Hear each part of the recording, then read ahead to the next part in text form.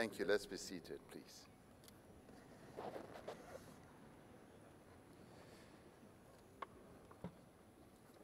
Program Director, Minister Nomvula Paula Mokonyane.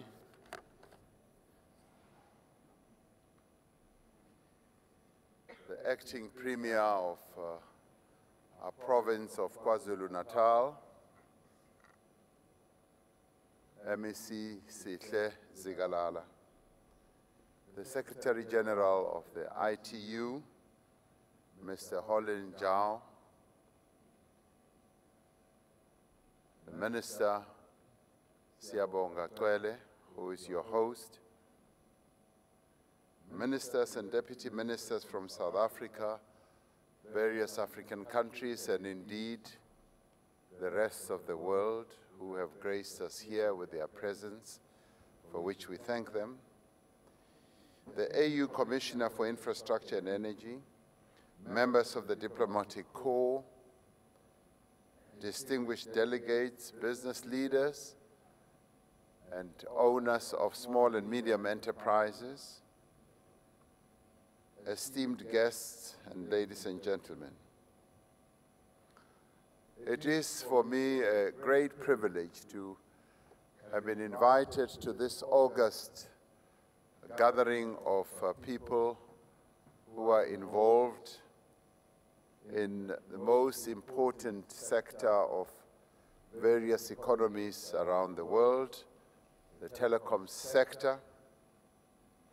I also pre feel privileged to have been given the opportunity to walk around to the various stands that I had time to visit, to feed my youthful curiosity and excitement at seeing some of the gadgets and uh, developments and innovations that are present here.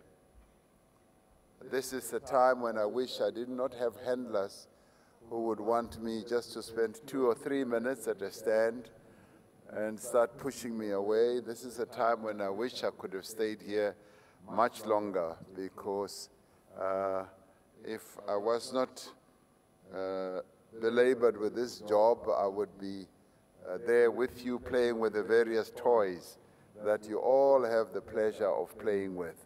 So you are much luckier than I am, and I envy you enormously.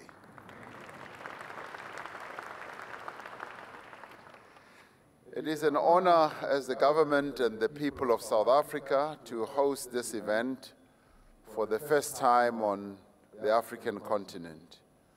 And I can say without any equivocation or doubt that we as Africans collectively feel really proud and honored that the International Telecommunications Union, which is the oldest in the UN family, has uh, chosen to come to Africa and particularly to come to South Africa and the province of KwaZulu-Natal to hold this event.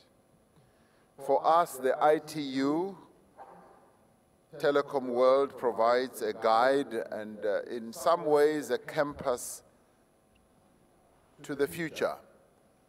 It gives us a campus to be able to navigate this new, bright and brave world that many countries are traversing as they begin to understand and get to grips with the meaning of the new technological changes that all of you are charting, creating, and taking the world forward with.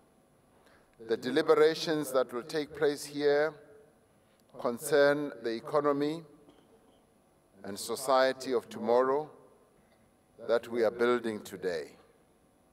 So as you sit here and you deliberate on issues, do bear in mind that what you're talking about in the end does have a bearing on the future of our economies as well as the well-being of society and humanity. We are at the dawn of a digital revolution that will reshape the way we work, the way we live, and indeed the way we relate to each other. I often try to find a way of understanding new things that explode in, in our countries or in the world, new things that affect and seek to improve the lives of people. And in trying to understand them, I always try to find out where do they come from? Where do they originate from? And John Reader, who wrote a book called Africa, a biography of a continent, always helps me to understand some of the origins of what is happening around us. He writes in his book about the origins of humanity, but I relate it to some of the things that are happening around us. He writes about 100,000 years ago, he says, groups of modern humans left Africa for the first time. And they progressively, as they moved, colonized the rest of the world. He continues, the innovative talent they had developed in Africa carried them into every exploitable niche of the world, close quotes. We all agree that it is the innovative talent that has been developed that is driving technological change that we are all seeing today. We can all testify that technological change is proceeding at a pace far greater than anything humanity has ever experienced before. Just like the innovative talent that John Reader speaks about that had been developed on the African continent that enabled those who left this continent 100,000 years ago to go to every exploitable niche of the world, armed with this innovative talent, talent that enabled them to utilize the technology of those days, that enabled them to utilize the knowledge that they had derived from this continent. They were able to improve their lives. They were able to harness various technologies and use them to get ahead. Forums like this enable not only us to anticipate technological change, but also to understand its origin so that we can harness it for the advancement of humanity. This we can do because our forebears used the innovative talent that they had developed on this continent to advance humanity. It is through bodies like the International Telecommunications Union that a digital agenda for inclusivity, sustainability, and development can be crafted. We have the means and the responsibility to direct the evolution of information and communications technology towards the achievement of a better life for all the peoples of the world. It is our task to ensure that the fourth industrial revolution improves the human condition and that as it improves the human condition, it must do it on an inclusive basis so that no one is left behind. It is also our task to ensure that this digital revolution does respond to the needs of the developing world and its economies.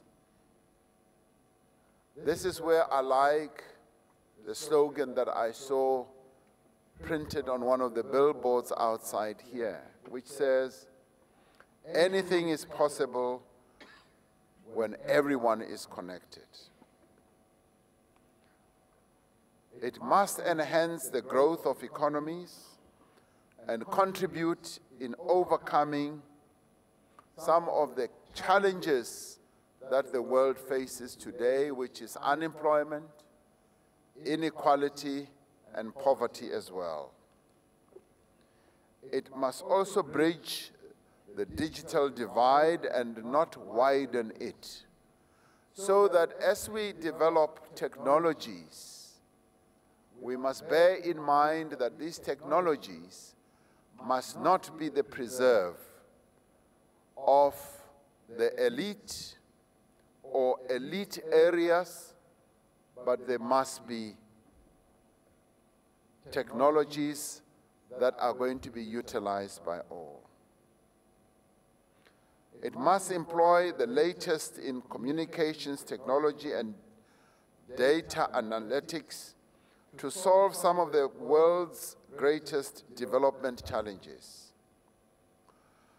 The decisions that we make now as individual countries and as a global collective will determine whether the fourth industrial revolution is the opportunity that so many people anticipate to be a moment, to be a conjuncture that is really going to change their lives, or a threat that so many people currently fear. As our economies become increasingly dependent on information and communication technology, it is critical that governments work more closely with industry to maximize the value of digital innovations. And it is pleasing that today, at this forum or conference, there are a number of government representatives in the form of ministers and their key officials. There are also a number of regulators from a number of countries, and that there are also a number of business people big and small. And I'm sure that there are quite a number of people from community-based organizations as well who are here. And I am yet to see whether labor is also represented here. It is equally critical that both governments and industry develop effective collaborative relationships with the communities they are both expected to serve. It is such relationships that are required, for example, for the accelerated rollout of broadband in areas such as rural areas and low-cost housing locations that are generally seen as not being economically viable. And yet, the presence of broadband in such areas is vital for the viability of the economy. And I'm sure that in the stands here, there are many others who probably were, are demonstrating one of the capabilities that I saw one of the sponsors here, MTN, demonstrating. They were showcasing a capability that will enable the rollout of broadband or telecommunications capability in rural areas that is powered by solar uh, energy. I found that most impressive, and I'm sure that many others here are doing the same. The rapid expansion of broadband reach and accessibility is a priority in our own country but it is also a priority for a number of countries on the African continent and indeed in many other developing countries as well. Because that is the real key as a determinant of economic inclusion and growth. There are currently 20 million South Africans who do not use the internet for a range of reasons such as unaffordability, lack of internet-enabled devices, and lack of access. Now, this is a challenge that has to be solved. At the same time, there are about 87% of households in South Africa who have access to mobile phones, and this represents, or this presents us with a great opportunity to overcome digital exclusion and to drive inclusive growth and innovation. Government has recently decided to accelerate the licensing of radio frequency spectrum in the 2.6 gigahertz, the 700 megahertz, and the 800 megahertz bands to hasten the growth of mobile communications. Well, I thought that would elicit much better applause than what you are giving now.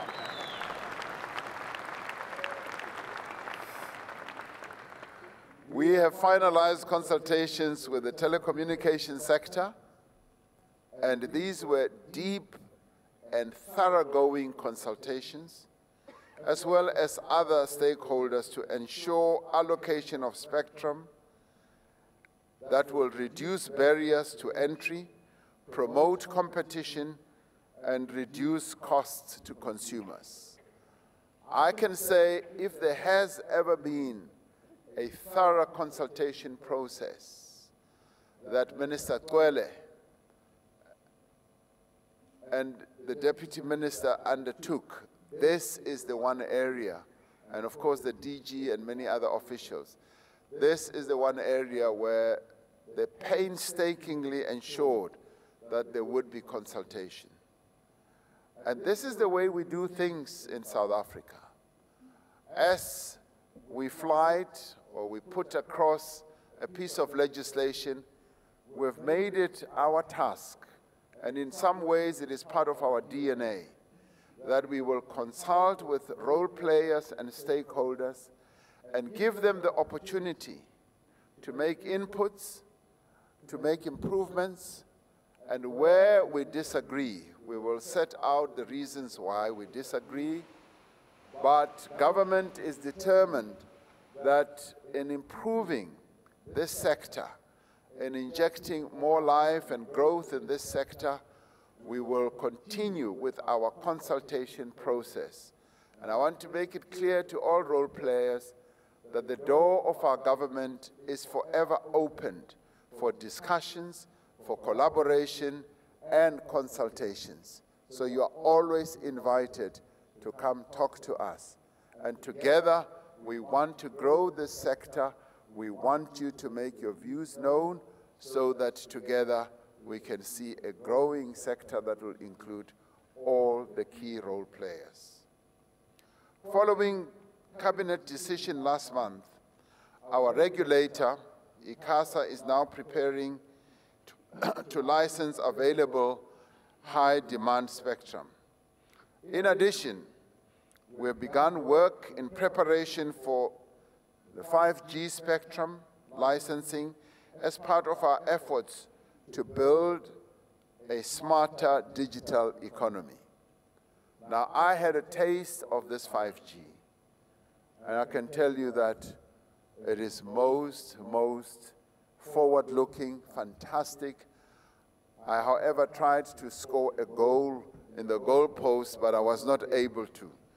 So all I ask for, please enable me to score a goal in spite of the 5G.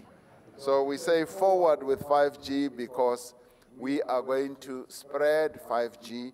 And thank you to our partners that you are going to take up this capability and spread it amongst our people to make their lives a lot better. Earlier this year, we announced plans to establish a Digital Industrial Revolution Commission to ensure we are in a position to seize the opportunities of the rapid advances in information and communication technology. And I would like, and this is to the Minister, I would like this to be done sooner rather than later. And in fact, it should be done in the next few days. We are informed by research that associate investment in ICTs with such economic benefits as high productivity, lower costs, new economic opportunities, job creation, innovation, and increased trade. Information and communication technology also helps provide better services in health, in education, and strengthen social cohesion. This was also demonstrated by a number of small and medium enterprises, some of which, which I was most impressed with, was uh, how young doctors have come up with a technology to enhance the health sector. And I say great work to them because it demonstrates that the youth and indeed a sector like health is coming to the party and utilizing these capabilities.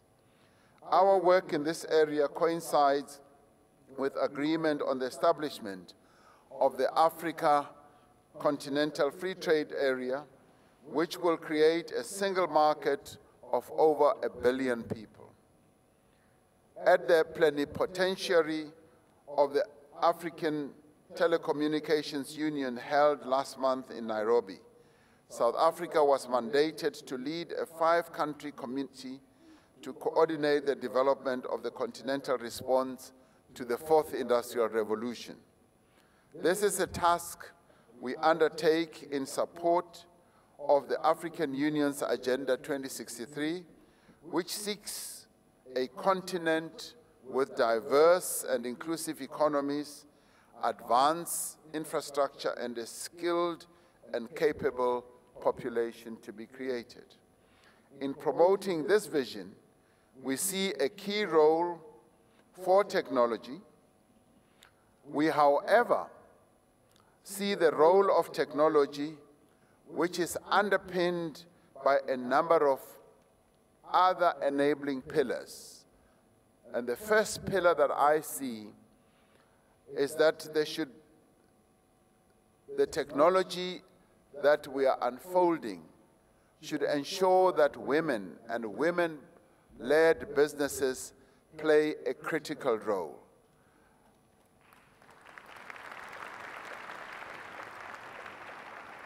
And one says this advisedly because women in many countries in the world are often left behind, they are often relegated to the back, they are often given menial roles and tasks. And we are saying if technology has to have any meaning to the people of any country, it must make sure that it places women in the forefront so that they can play a critical role in the technological advancement of any country.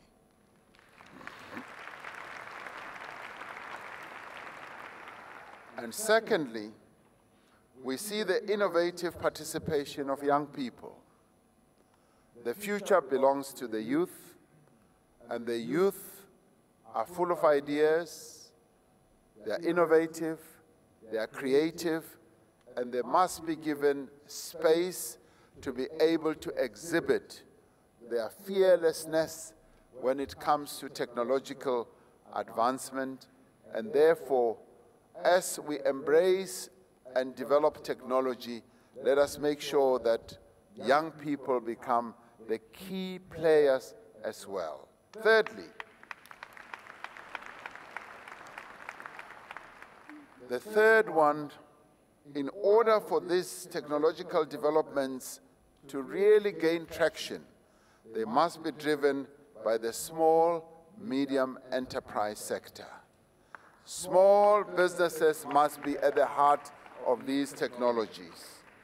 So for me, those are the three pillars that should really drive technological advancement.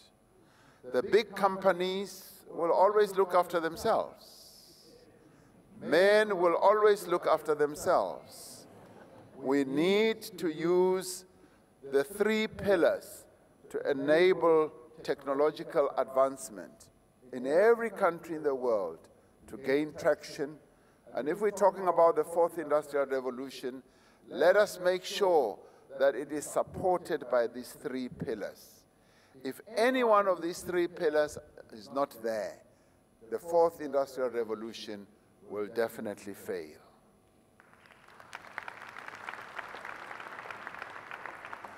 It is precisely this, the developmental role of technology as underpinned by these three pillars, that South Africa's founding president, Nelson Mandela, affirmed when he addressed the seventh World Telecommunications Conference and exhibition in Geneva in 1995.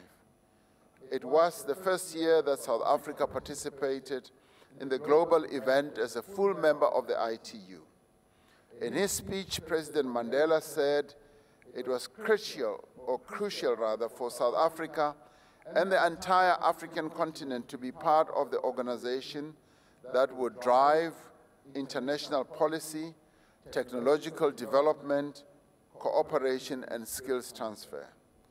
Now, in the year of the centenary of his birth and the birth of another icon in, this, in our country, Albertina Sisulu, one of the leading mothers of our nation, let us be guided by the vision that Nelson Mandela had of a world in which everyone is connected, not only by technology, but also by a common humanity. Since rejoining the ITU, South Africa has worked with other member countries to advocate for the transformation of the institution and the entire global communications landscape to promote equality and inclusivity. In the World Summit of Information Society held in Geneva in 2003 and in Tunis in 2005, we advocated for a people-centered and development-oriented information society where citizens' lives are enhanced by ICTs and member states are recognized on an equal footing. We continue to champion the internet as a tool for social and economic development. We support universal broadband and universal broadcasting to connect all citizens and ensure that they have access to information. Most recently, we have advocated for the safety of the ICT infrastructure and secure use by all online.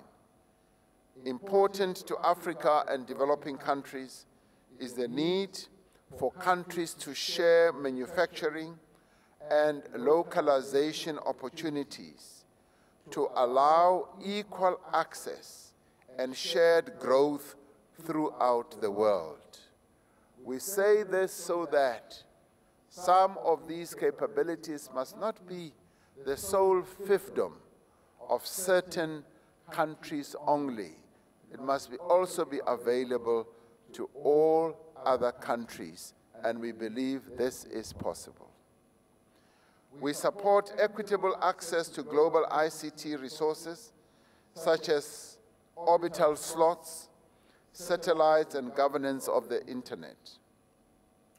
Distinguished guests and ladies and gentlemen, we firmly believe that there is a strong correlation between innovation and growth. One of the key interventions our economy needs to foster growth is investment from our local investors as well as investors from other countries. Our country recently embarked on an investment drive to attract $100 billion in new investment in our country over the next five years, a portion coming from our own country and another portion coming from other countries. This is part of a broader effort to set the economy on a new growth path, on a new employment path, and a new transformation path. We will be holding an investment conference on the 25th to the 27th of October where we will showcase the country's lucrative investment offerings. We are determined that the ICT sector be an integral part of this investment drive, with a focus on infrastructure investment, e-commerce, local manufacturing of equipment and innovation. South Africa has demonstrated its capabilities in the development and the deployment of information and communications technology. A number of other African countries, our sister African countries, have also demonstrated the same and are continuing to show excellence in a number of areas. We expect that the investment conference will help to demonstrate our country's great potential for investment, but these investments should also be located in a number of other African countries because Africa as a continent is open for business and it is the best next thing that is about to happen to the whole world.